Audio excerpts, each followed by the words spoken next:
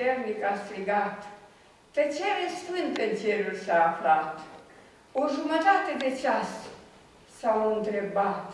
Cine e acum în stare pentru plecat? Cine e în stare ca să vină jos pe pământul păcătos? Și păcatele lumii să le ia asupra sa, să moară în chinuri încât să-ți întorci fața. Atunci Dumnezeu a hotărât ca pentru o fecioară să vină pe pământ.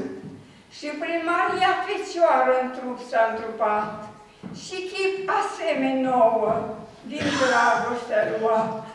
Te-ai coborât din cerul de la Tatăl Sfânt să vii, Iisuse, la noi pe pământ și după multă privegie și după mult ciublat, veniră și magii să vadă ieslea ta, Iisuse, în care ai fost culcat.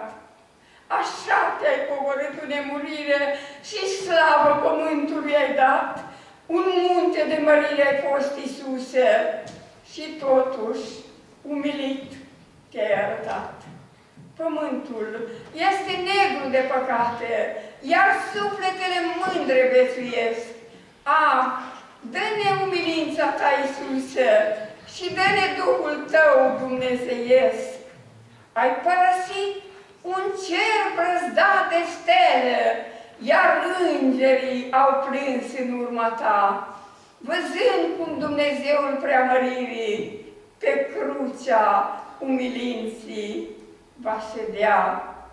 O, e atâta de sublimă umilința, ea-i dătătoare drumurilor noi, când lumea rostul ei va înțelege. Tu, Crist din cer, etern vei fi cu noi. Și astăzi te rugăm, Iisuse, dă-ne și nouă din umilința ta, ce ai avut-o tu atunci în Betleem și Golgota. Amin. Amin.